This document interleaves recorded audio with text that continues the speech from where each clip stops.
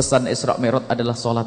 Siapa pun yang datang ke tempat ini kok solatnya masih ogah-ogahan, ayo kita benah diri, jangan sampai ada yang meninggalkan solat.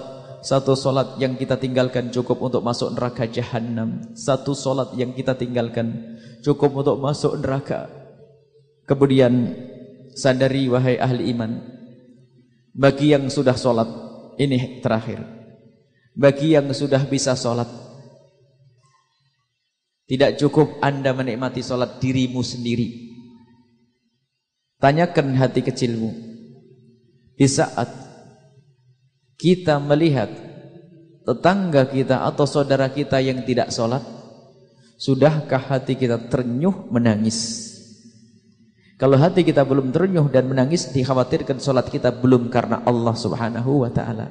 Karena belum solatnya orang yang beriman secara sesungguhnya. Jangan-jangan ya ikut-ikutan saja, rutin begitu saja. Maka harus kita hidupkan hati kita. Kalau kita melihat orang yang tidak sholat, tanyakan hati kita, sudah bergetar ternyuh atau belum? Kalau belum ada ternyuh, maka ketahuilah dikhawatirkan sholat kita belum benar karena Allah subhanahu wa ta'ala. Karena Nabi sudah bersabda, La yu'minu ahadukum hatta yuhibba li akhihi ma yuhibbu li nafsihi. Tidak sempurna iman kalian semuanya kecuali kalian sudah mencintai saudara seperti mencintai untuk dirinya sendiri. Di waktu hari Jumat, Anda pulang dari sholat Jumat. Berapa banyak orang kita ketemukan dari tetangga yang seharusnya mereka melakukan sholat Jumat. Akan tapi mereka tidak pernah sholat Jumat. Apa yang ada di hati kita? Kalau belum ternyuh, hati kita belum benar. Maka yuk kita berangkat dari sini saja. Menghidupkan hati kita dan kalau sudah hati kita mudah terenyuh akan bangkit jiwa dakwah. Mengajak kepada kebaikan. Kita itu khawatir hanya menikmati ibadahnya sendiri. Ibadah sendiri. Sampai mungkin anaknya pun tidak sholat, tidak menangis. Tidak merasa menyesal, nyantai saja. Giliran motornya lecet, ributnya setengah mati. Mobilnya lecet, ribut setengah mati. Barangnya hilang, kantingnya hilang, ribut setengah mati. Tapi akhlak dan iman anak kita pergi, kadang tidak berpikir. Artinya sholat kita belum benar.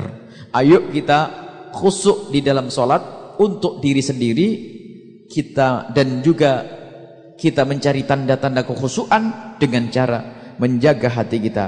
Di saat melihat saudara kita tidak sholat, harus kita terenyuh. Harus. Imam Muhammad Al-Bakir menemukan orang dalam riwayat berzina. Dalam riwayat tidak sholat. Dengar orang Islam tidak sholat saja bisa nangis. Bagaimana kita? Bisa ketawa kita. Mungkin tidak tidak peduli sudah biasa sholat di nafsi-nafsi. Ya kalau nafsi-nafsi bukan urusan ibadah begitu seperti itu.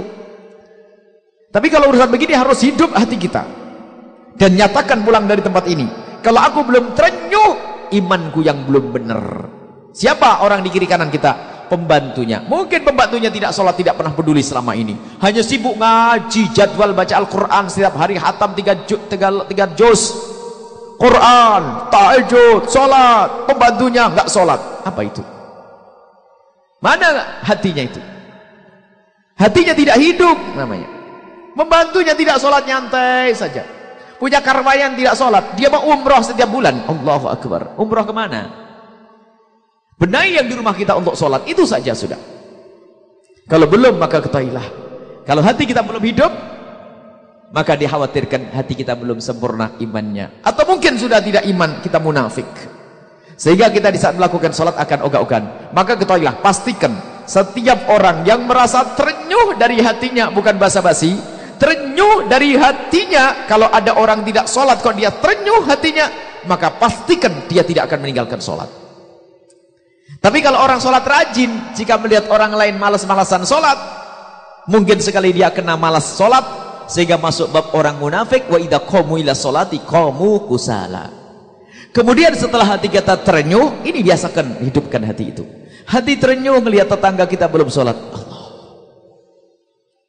Seperti kalau kita melihat tetangga kita retak kepalanya karena jatuh atau ditabrak mobil. Kita terenyuh.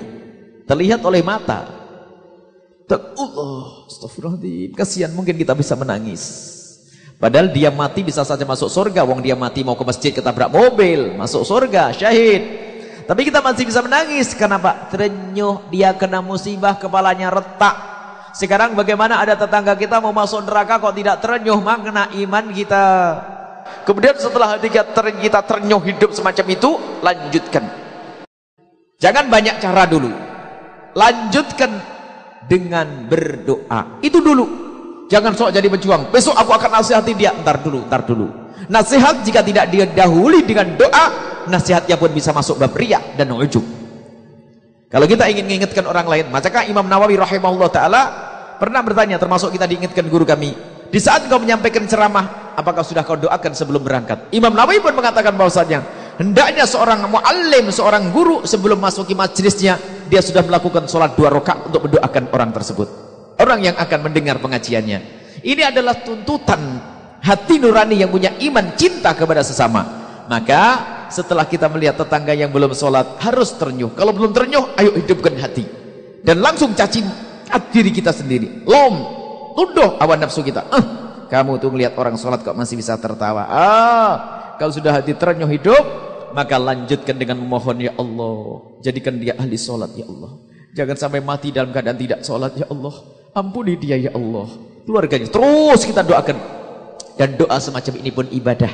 Dan bentuk tanda kecintaan kepada saudaranya maka itu hakikat iman. Maka yang akan dijaga oleh Allah pertama kali adalah solat kita sendiri. Kemudian baru sah esok harinya kita mengingatkan dengan lidah kita. Pokoknya wahai ahli iman jangan anda mengingatkan seseorang dengan perilaku lahir termasuk dengan lidah kita kecuali kalau sudah kita mulai di malam hari dengan memohon kepada Allah beres dan permohonan yang sesungguhnya berangkat dari hati yang ternyuh tadi.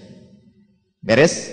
Hati ternyuh, berdoa, baru layak besok pagi yang ingatkan. Kalau orang hanya kerjaannya mengingatkan itu bisa action. Pengen dibilang sebagai ustadz hebat, ustadzah hebat yang kiat amar ma'ruf nahi mungkar. Tapi tidak pernah memohon kepada Allah. Bisa saja dia masuk orang yang sombong kepada Allah. Seolah-olah dia yang bisa memberikan petunjuk. Padahal yang memberikan petunjuk adalah Allah Subhanahu wa taala.